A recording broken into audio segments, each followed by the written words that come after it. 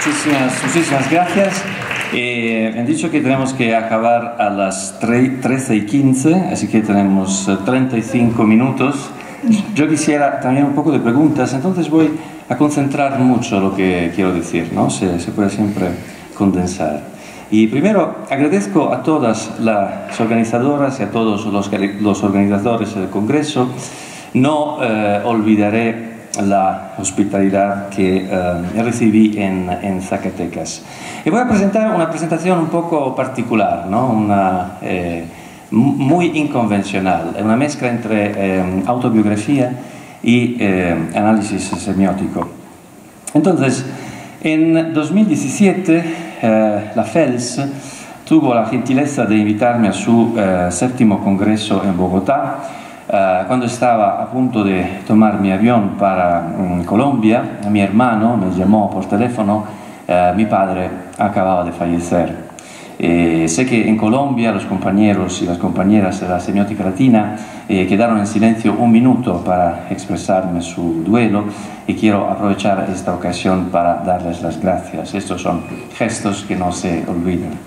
El fallecimiento de mi padre me desesperó, eh, unas semanas después, profesor visitante del Centro de Estudios Avanzados de la Universidad de, la Universidad de Bucarest, en Rumanía, me encerré en un apartamento rodeado por metros de nieve y eh, reaccioné en la única manera que conocía, estudiando.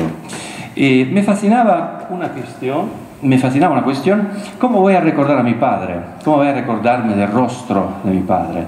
a través cuáles imágenes mentales, mediante cuáles imágenes exteriores, cuál será la influencia de las primeras sobre las segundas y de las segundas sobre las primeras, y cómo afectará ambas el pasar del tiempo, el modificarse inexorable de mi memoria.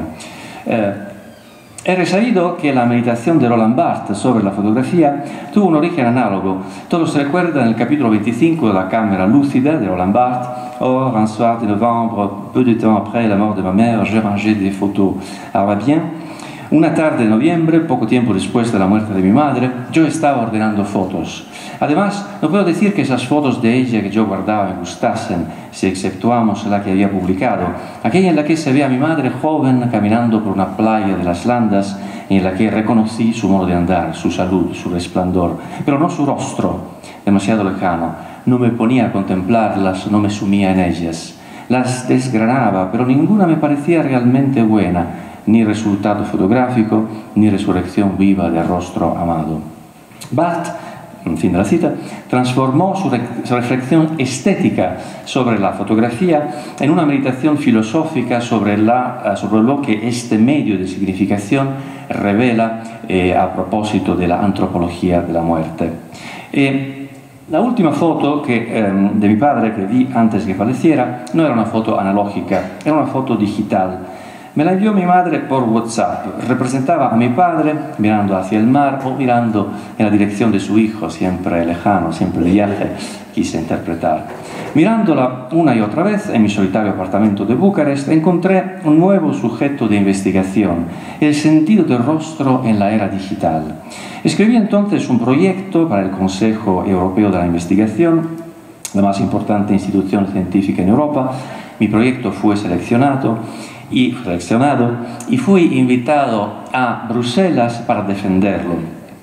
En esa época estaba todavía tan enfadado por el fallecimiento de mi padre y el casi simultáneo divorcio de mi exmujer que peleé furiosamente con uno de los miembros del jurado y el proyecto fue rechazado. Eh, lo representé el año siguiente, tras haber reelaborado la vez el proyecto y mi rabia, fue seleccionado de nuevo para la entrevista en Bruselas. Esta vez me presenté con el pelo largo y un sombrero azul chillón. El Consejo Europeo de la Investigación me atribuyó una beca personal de 2 millones de euros para desarrollar de 2019 a 2024 el proyecto FACES, um, Face Aesthetics in Contemporary E-Technological Societies. Entonces, yo había preparado toda una descripción del proyecto de investigación, eh, Voy a presentar solo una síntesis, eh, pero no toda la descripción porque quiero discutir de un aspecto en particular con vosotros. Entonces, eh, Facets estudia el sentido del rostro en las culturas visuales contemporáneas.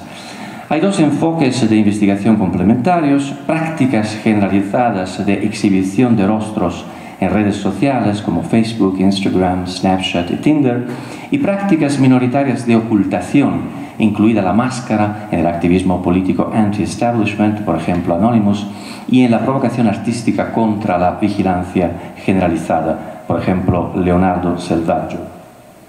Se puede formular la hipótesis que actualmente el sentido del rostro humano esté cambiando a escala global a través de la invención y la difusión de nuevas tecnologías visuales, por ejemplo, fotografía digital, filtros visuales, así como software para el reconocimiento facial automático, a través de la creación y el establecimiento de nuevos géneros de representación facial, por ejemplo la selfie, y a través de nuevas perspectivas sobre la percepción, lectura y memorización de rostros, o por ejemplo el scrolling, ¿no? el desplazamiento de rostros en Tinder. Las cogniciones, las emociones y las acciones que las personas asocian a la interacción con los rostros de uno mismo y de los demás pronto podrían estar experimentando cambios dramáticos. En Facets, una perspectiva interdisciplinaria pero enfocada combina la historia visual, la semiótica, la fenomenología, la antropología visual, pero también los estudios de percepción y eh, la recopilación, el análisis y la contextualización social de los grandes datos, no Big Data, a fin de estudiar las causas culturales y tecnológicas de estos cambios y sus efectos en términos de alteraciones en la autopercepción e interacción comunicativa. En la tensión entre, por un lado, las agencias políticas y económicas que presionan para aumentar la divulgación, detección y comercialización del rostro humano por razones de seguridad y control, como fines comerciales o burocráticos, y por otro lado las contratendencias de ocultación de la cara, escritores y artistas como Banksy, Ferrante, Sia, la sintaxis visual, la semántica y la pragmática de la cara humana están evolucionando rápidamente. Facets, eh, mi proyecto de investigación, realiza una encuesta innovadora e interdisciplinaria de este fenómeno. En las redes sociales y digitales, los seres humanos están expuestos a una cantidad de imágenes de caras sin precedentes. Interactúan visual y ápticamente con ellas de nuevas formas, por ejemplo, desplazándolas, scroll, a través de pantallas táctiles digitales. Los dispositivos y los formatos de comunicación que evolucionan rápidamente codeterminan esta experiencia, por ejemplo, a través de la movilidad de los teléfonos inteligentes y la arquitectura de las plataformas digitales. La mayoría de los seres humanos hoy en día almacenan, transportan y manipulan a diario cientos, si no miles de pequeños iconos de caras.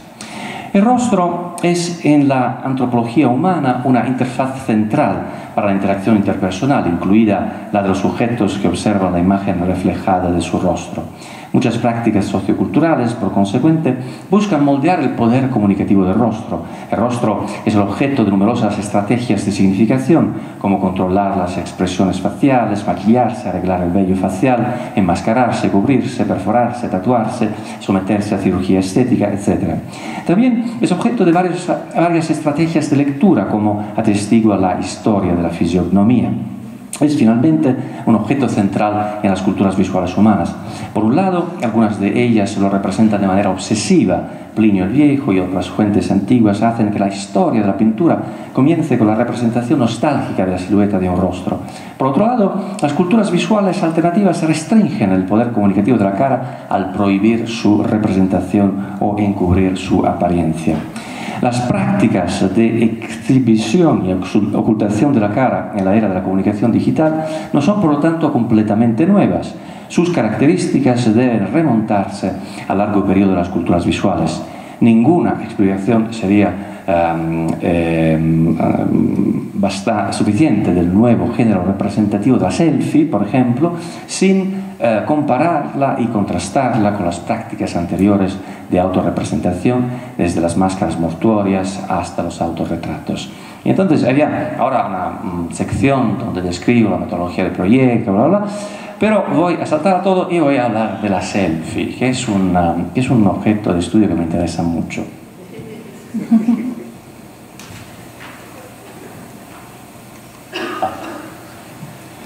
Bueno, y van a encontrar esta noche el texto completo de la conferencia en mi sitio academia, si quieren leerlo en su versión integral. Entonces, esta conferencia inició con unas confesiones biográficas tristes, se terminará con unas revelaciones personales alegres. Como saben los compañeros y las compañeras de la semiótica, yo he tomado y en cierta medida sigo tomando selfies. Mis estudiantes de doctorado me toman cariñosamente el pelo sobre este tema y uno incluso eh, creó un generador automático de selfies a la Massimo Leone. No, no, podemos, no podemos verlo porque no funciona, creo. Eh, no lo puedo eh, activar a partir de esta, de esta pantalla. comencé a tomar selfies cuando se me hicieron disponibles a la vez la tecnología de un nuevo dispositivo la de un móvil provisto de una cámara posterior y la plataforma de una red social, la de Facebook.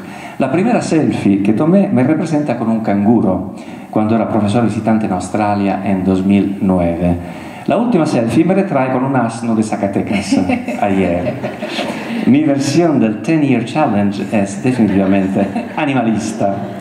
Eh, en mis selfies Ah, se han representado paisajes, monumentos, personas, a veces individuos, amigos o conocidos, a veces grupos de ellos, a veces individuos o grupos desconocidos. En muchos de mis selfies estuvo mi exmujer, mientras que las parejas siguientes, eh, esa es la última selfie con mi mujer, mientras que no lo sabía que era la última, mientras que las parejas siguientes nunca lograron este privilegio simbólico, o sea porque no lo quise yo, o sea porque no lo quisieron ellas, la simetría del deseo de aparecer en una selfie quizás sea tan rara como el amor.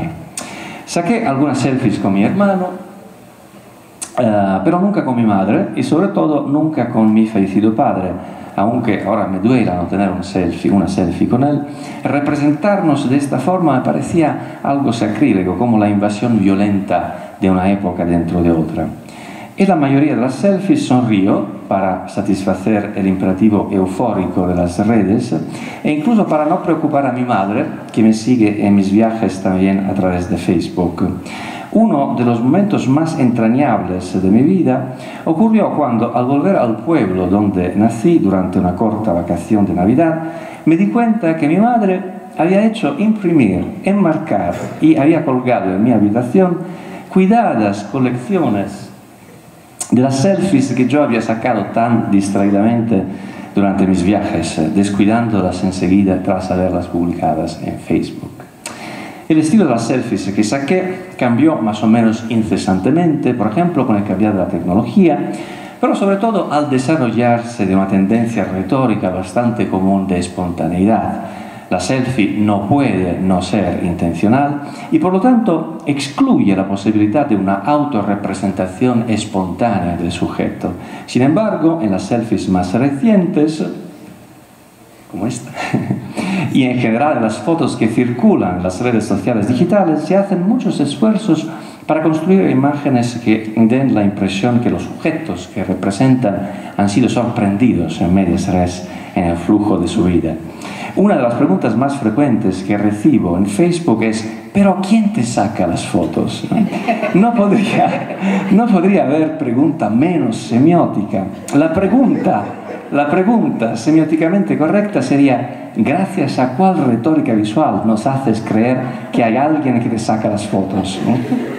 Estrechando mucho el brazo, por ejemplo, y sin servirse de los horrorosos selfie sticks, se puede conferir a la selfie el aspecto de una imagen que alguien eh, no haya sacado, nos haya sacado de distancia muy cercana, sobre todo si se eliminan de la cara todos rasgos que puedan comunicar, al revés, una premeditación de la representación fotográfica.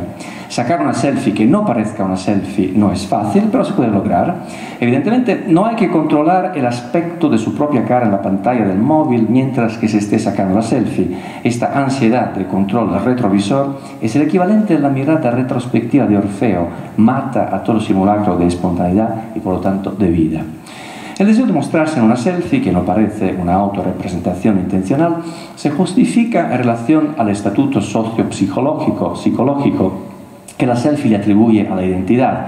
Con una connotación siempre ambigua entre soledad y solitud, entre la afirmación muy de moda de la independencia individual y el miedo y por lo tanto el rechazo de toda, de toda sospecha de marginalización. En una selfie queremos aparecer como solitarios viajeros, pero no como viajeros solos. A pesar de la variedad de contextos visuales representados en mis selfies y a pesar del mudar del estilo de la representación, de las selfies ingenuas del neófita hasta las superestudiadas y editadas del experto, en estas imágenes lo que aparece es principalmente mi cabeza, con mi cara, mi melena, una parte de mi cuello, una parte de mi espalda e incluso a veces una porción de mi tórax. Aparezco con más o menos barba, con pelo más o menos corto, con ropas exóticas, elegantes, deportivas. Reflexionar sobre a selfie. En el marco de una semiótica de las culturas persigue varios objetivos, de los más general y abstracto a lo más particular y concreto. Primero, utilizar la semiótica cultural de la selfie como un caso de estudio para formular hipótesis epistemológicas sobre la relación entre innovación tecnológica y cambio de las prácticas semióticas predominantes. Segundo, proponer interpretaciones que lean la selfie y sus prácticas como síntomas de una ideología semiótica más general, concerniente la relación entre sentido y tiempo. Según esta interpretación, cada selfie implícitamente afirmaría la semiosfera en la que aparece y circula una cierta ideología temporal y aspectual. Tercero, desarrollar una fenomenología de la selfie y de lo que acontece a una cara cuando esté representada por este formato y a una mirada cuando observe una cara así representada. La selfie constituye la glorificación fotográfica de una ideología temporal que, que valora el tiempo presente. No solo miro la realidad a través de una cámara, es decir, a través de la idea de un presente visual al que se le atribuye la validación estética de un pasado memorable, sino incluso doy la espalda a la realidad y ya no la miro directamente ni siquiera en los márgenes de mi campo visual. En la selfie tomo una imagen del presente que me incluye a mí como una persona memorable, objetivando, por así decirlo, el recuerdo de mí mismo como persona recordada por mí mismo. En la selfie, una vez más, no tomo una foto que me permitirá recordar cómo era, como era el caso de retratos fotográficos o autorretratos, por ejemplo, sino tomo una foto que me permite percibirme a mí mismo como alguien para ser recordado. La selfie, como la mayoría de las fotografías digitales actuales, es una forma de otorgar al presente desaparecido, aislado de cualquier recuerdo del pasado y cualquier plan para el futuro, el aura de un recuerdo visual de algo que me sobrevivirá en el futuro. Eso, sin embargo, no interrumpe la estética de la valorización ideológica del aspecto durativo del presente, sino que la refuerza. Nunca miraré hacia atrás mis selfies, porque ya las estoy mirando en el momento instantáneo y duradero en el que las tomo. La selfie combina el momento presente de la creación de una imagen de mí mismo y el momento potencial futuro en el que voy a mirar esa imagen para recordar cómo era. En la selfie me miro a mí mismo así como aparezco en la fabricación de la selfie misma y sin embargo mirar mi propia imagen en el presente no es lo mismo que mirarme en el espejo. Comparte la selfie el narcisismo del espejo, pero al mismo tiempo absorbe la durabilidad de una fotografía y sus connotaciones tradicionales de dispositivo de memoria. La selfie es como consecuencia la síntesis perfecta entre el espejo y la cámara, entre un dispositivo visual que captura el estado actual de mí mismo, entregando una imagen de mí que sin embargo se desvanecerá a mí alejarme del espejo, y un dispositivo visual que captura el estado actual de mí mismo para un potencial espectador futuro. Es como si al tomar selfies me estuviera otorgando la posibilidad de atribuirle una dimensión temporal a mi espejo, estirando su imagen reflejada hacia un posible futuro. El objetivo de una selfie, sin embargo, no es funcional sino simbólico. Nunca volveré a mirar mis autorretratos, pero los tomo como si fueran imágenes futuras de mí mismo para ser vistas como un depósito visual de mis identidades pasadas. Desde este punto de vista, desde este punto de vista, al ser un híbrido semiótico entre una imagen reflejada y una fotografiada, la selfie funciona como un índice, lo que significa que no estaría allí si la cámara no hubiera estado en continuidad real con mi cuerpo en el Ike Nunc, pero también como un icono, lo que significa que este espejo realmente conserva una imagen permanente de esa presencia indexical mía y como un símbolo. La función simbólica de una selfie se deriva exactamente de sus propiedades indexicales e icónicas. Con la fotografía digital, la ontología del objeto fotografiado se vuelve incierta. Al conectarlo con la idea de una continuidad física firme con mi cuerpo a través de mi brazo, su prótesis, el selfie stick, atribuyo un aura ontológico indexical a mis iconos digitales. Las selfies son tan populares porque en una ideología temporal del presente nos tranquilizan sobre nuestra continuidad ontológica proporciona una versión actual de la ideología temporal del pasado y sus recuerdos. Las selfies son un dispositivo visual para recordar el presente como presente y no como pasado. Atribuyen a la experiencia el aura fenomenológico de la memoria. En una selfie recuerdo mi presente. Es el epítome de la radicalización de la ideología temporal y espectral del presente instantáneo y durativo. La ideología se manifiesta en una miríada de experiencias y artilugios cotidianos que sin embargo en la semiosfera actual siempre la misma actitud temporal y aspectual. No mires hacia el pasado, es doloroso. No mires hacia el futuro, es angustiante. Mira hacia el presente un presente desconectado de todo lo que precede y de todo lo que sigue, un presente que se manifiesta como un instante continuo, sin la carga de la memoria o del deseo, sin la molestia de la memoria, sin el dolor de la imaginación y sus riesgos de disilusión. Y voy a terminar con una selfie de todos.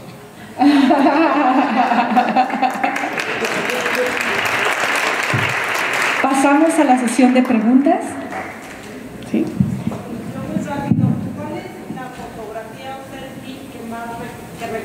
La memorable en toda tu historia? Sí, eh, el punto de las selfies es que no se recuerdan, porque las selfies eh, no nacen como fotografías para eh, eh, poder rememorar en el futuro un presente que se va a volver pasado, sino nacen como imágenes que sirven para otorgarle a un presente que nunca se va a volver futuro eh, la memorabilidad de un pasado.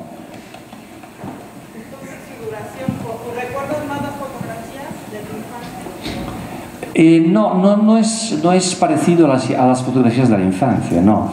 O sea, eh, en uh, la um, constitución de la selfie, en la fenomenología de la selfie, en, el, uh, en los códigos socioculturales que producen selfies, eh, hay una ideología semiótica y mm, por tanto también una ideología de la representación, una ideología temporal que mmm, crea una diferencia entre la selfie y seguramente la fotografía eh, de otra época, pero también entre la selfie y el autorretrato. ¿no? Sería, eh, eh, yo creo, eh, no sería bastante sutil pensar que la selfie es un autorretrato. No es un autorretrato porque no se toma como un autorretrato, no nace como un autorretrato. Entonces tiene una, un sentido ideológico, un sentido temporal, eh, un sentido cultural que es distinto. Eh, comparte, eh, mm, por un lado, este sentido con todas las imágenes eh, digitales. Nosotros tomamos, hemos tomado, por ejemplo, durante este congreso, muchísimas imágenes, fotografías digitales pero probablemente máximo dentro de un día, dos días, no vamos a volver atrás a mirar estas imágenes. Bueno, yo lo he hecho en un laboratorio, en un laboratorio meta eh, selfie, ¿no? eh, he estudiado las selfies para entender algo, algunos patrones en sus construcciones, pero normalmente no miramos atrás hasta las... Um, hacia las fotografías digitales, normalmente no las imprimimos, um, con algunas excepciones, y, y entonces eh, incluso desde el punto de vista material, estas imágenes fotográficas digitales no se acumulan, eh, no constituyen eh, un eh, depósito material, eh, un depósito existencial, un depósito semiótico. Entonces, eh, la, las selfies no se almacenan para que puedan servir como representaciones del presente en el futuro. Se almacenan por otras razones o sea, para otorgarle al presente una memorabilidad. Eh, nosotros necesitamos eh, en cada minuto de nuestra vida, de nuestra existencia, de decirnos esto que estoy viviendo merece una selfie. ¿no? Pero no quiere decir que esta selfie la vamos a utilizar para recordar este, este instante. Le estamos otorgando memorabilidad al instante, que es algo distinto. No salimos del presente. Rápidamente, gracias Máximo por tu brillantez de siempre. Cada vez te veo más como ese híbrido de Marco Polo y Humberto Eco. Eh, en tu exposición ha quedado muy claro que la, la imagen del selfie no es la imagen del espejo. Por lo tanto, no hay narcisismo. Pero eh, para mí, no sé si estás de acuerdo, el narcisismo no existe porque la selfie se sale muy desfavorecido. Sí, yo eh, seguramente el narcisismo hace parte de la, de la selfie, pero sería un poco eh, reductivo eh, explicar el sentido de la selfie solamente en relación al narcisismo. O sea, el narcisismo se expresa en muchas de nuestras eh, producciones eh, culturales en el mundo digital e incluso en el mundo analógico, porque el narcisismo no es una invención del mundo digital, no existía también eh, en el mundo de las personas que, por ejemplo, se hacían retratar, era una forma de narcisismo, ¿no? o se hacían fotografiar. Eh, lo que eh, cambia mucho es esta ilusión de la singularidad, de la que he hablado también en un seminario en, uh, con Roberto Flores en, uh, en, Ciudad de México. O sea, eh, nosotros gastamos muchísimas, muchísimos recursos eh, culturales, simbólicos, materiales, incluso económicos, para construir una ilusión de nuestra singularidad. Y Facebook, por ejemplo, nos vende continuamente la ilusión de poder construir la nuestra singularidad. Eh, bueno, señores y señoras, eh, Facebook eh, produce cada segundo millones y millones de selfies como las vuestras. Eso no quiero decir que no sean importantes, pero eh, es una ilusión de singularidad, porque la infraestructura, la verdadera singularidad es tener a Leonardo que os retrata, no es sacaros una selfie, ¿no? Y los que pueden verdaderamente hoy tienen los medios simbólicos y económicos para construir su singularidad con imágenes, no se sacan selfies, tienen a su Leonardo, ¿no? Yo tuve la oportunidad también de escucharte en la conferencia que diste de arte sacro el martes y también pues, me gustó mucho. Y quería preguntarte, ¿a ti qué fue lo que te motivó, lo que te llevó a, tomarte selfies? Sea, por decir algo. Bueno, eh, oí una voz eh, en el sueño, no, no, no, no, porque empezaste con el arte sacro, ¿no? Entonces, mira, oí una voz que me dijo, va y toma tus selfies, ¿no? No, bueno, eh, eso es interesante porque nunca se sabe si es la tecnología que provoca las uh, producciones culturales o son las producciones culturales que producen la, tecnología. Eh, siempre es un círculo, o sea vicioso, o sea, o sea virtuoso. Eh, probablemente la primera selfie que tomé, la tomé porque podía tecnológicamente hacerlo, o sea, eh, me habían uh, puesto en las manos una, uh, una, una, un móvil con retrocámara y ya circulaba en la semiosfera esta, este formato, nuevo formato de representación eh, de la identidad. Y entonces la disponibilidad tecnológica y el contagio viral de los formatos de la comunicación me empujó a, a tomar unas selfies. Y luego seguí por varias razones, porque eh, era mm, muy agradable ver la reacción positiva de los familiares, de los amigos, eh, para una representación de mi propia identidad eh, varias razones que acabo de explicar, o sea, eh, en una vida hecha continuamente de viajes, de desplazamientos, eh, hay la necesidad de construir también una continuidad existencial, ¿no? Y a veces las imágenes sirven para, para eso también. Pero te invito también a mi autoanálisis, una sesión de autoanálisis que voy a hacer en la próxima conferencia. Pero gracias.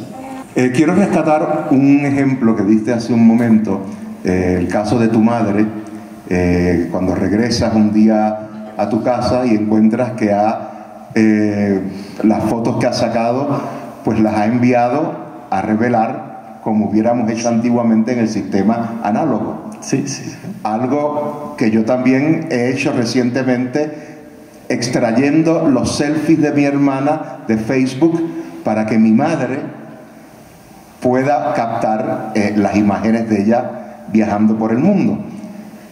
Eh, y la pregunta iría, ¿no estamos también en este otro sentido? Porque eh, eh, ya no es el sentido personal del selfie, sino que es el sentido que le puede dar ese otro que va a, tomar la imagen, en este caso las madres, en donde ya pasa a convertirse en aquello que llamaríamos un acto para la memoria, o un acto para eh, eh, preservar, o sea, que, que, que, serían diferentes instancias eh, esas lecturas que le podríamos dar al selfie.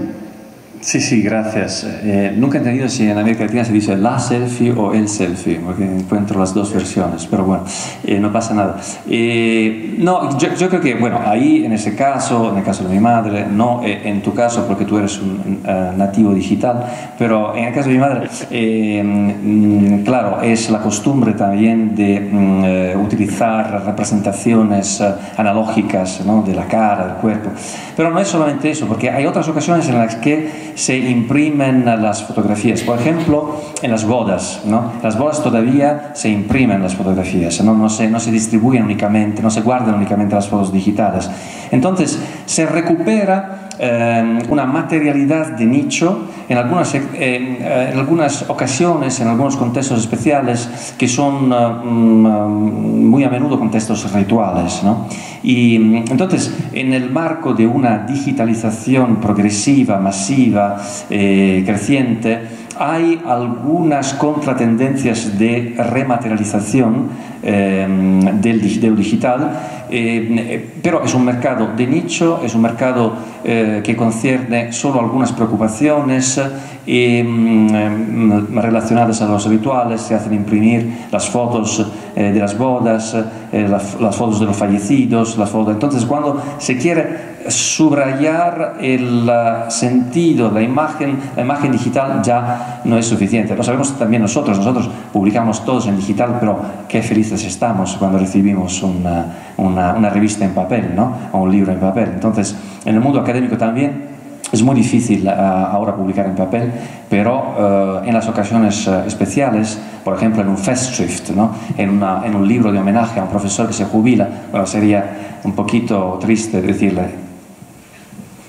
el PDF de tu, de tu jubilación.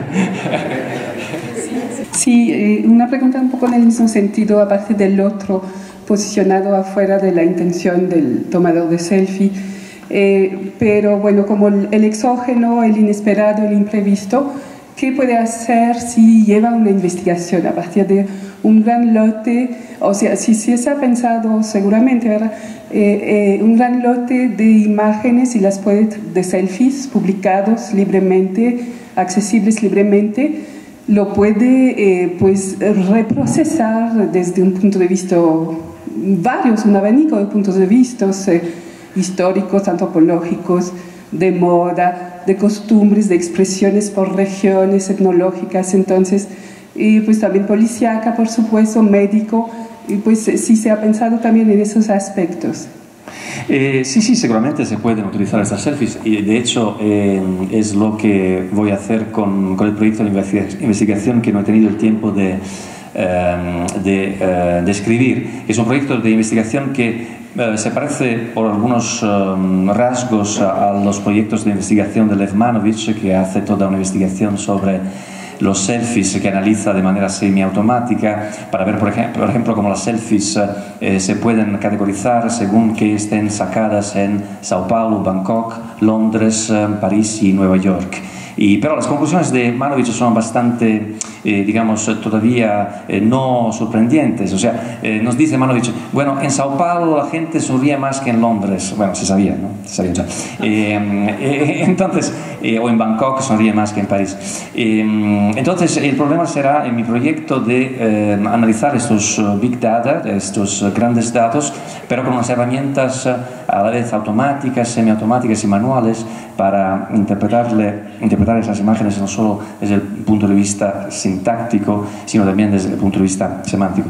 Y mm, añado solo un detalle, eh, es verdad que las selfies de los demás se pueden reutilizar, pero normalmente no hay espontaneidad en las selfies, en el sentido que eh, todo el mundo digital, casi todo el mundo de la comunicación digital, justamente porque digital, está eh, regido por una semiótica del intervalo. O sea, nadie se saca una selfie y aceptaría de eh, subir automáticamente en el web una selfie sacada en un momento X. O sea, nosotros sacamos muchísimas selfies, las seleccionamos, las filtramos, las modificamos, porque eh, queremos representar nuestra identidad, pero al mismo tiempo queremos tener un control total sobre la representación de la identidad de nuestro cuerpo. Y esto acontece también en otros eh, tipos de comunicaciones digitales, ¿no? las parejas, por ejemplo, eh, no, no, se llaman más por teléfono, o sea, no, no se hace más. Eh, ya enviar un mensaje por WhatsApp es demasiado, ¿no? Y entonces, eh, ¿por qué, por qué no necesitamos más al otro? O sea, no, no, queremos ser interrumpidos, queremos que nuestra imagen sea muy editada, ¿no? muy perfecta, muy perfeccionada antes de presentarla a los demás. entonces, esta es la evacuación del cuerpo del mundo digital que nos, uh, que nos produce esto. Eh, Máximo, yo me quiero concentrar brevemente en, en, lo último de tu exposición, sobre todo cuando hablabas del tema de la ontología del selfie, ¿no? porque quizá también estemos frente a un momento inaudito de, de otro tipo de tiempo, es decir, eh, que quizá no sea dotar de memorabilidad al presente o de generar una continuidad en ese sujeto que está tomando la selfie, sino que quizá estamos con un momento de discontinuidad, de casi una suerte de melancolía del futuro, como si más bien no hay presente y todo es un futuro que constantemente se está desvaneciendo. Entonces, la selfie no apuntaría ni al pasado ni al presente, sino hasta como contradicción pasado-futuro. Sí, no, toda la razón en el sentido que el presente, como decía Agustino, existe, ¿no? Es algo, es una dimensión temporal que está entre lo que no es más y lo que no es todavía, ¿no? Como decía Agustín. Entonces, eh, lo, lo, que digo cuando digo que estamos en una um, ideología temporal del tiempo presente, no es decir que vivimos en el tiempo presente, quiere decir que en muchas sociedades se borran los, uh, las relaciones, los enlaces, los puentes, las puentes entre esta dimensión, el tiempo presente, y, eh, y el tiempo, mi corazón. Eh, el, tiempo, el tiempo presente y el tiempo pasado y el tiempo futuro. Tienes razón, eh, cuando hablas de la nostalgia del futuro, yo he escrito un artículo sobre el, una interpretación semiótica del vintage, por ejemplo. ¿no? El vintage no es lo mismo que las antigüedades. Hoy eh, los jóvenes italianos eh, no compran antigüedades, eh, digamos, del siglo imperio, por ejemplo, para darle una dignidad de nobleza y de aristocracia a sus casas.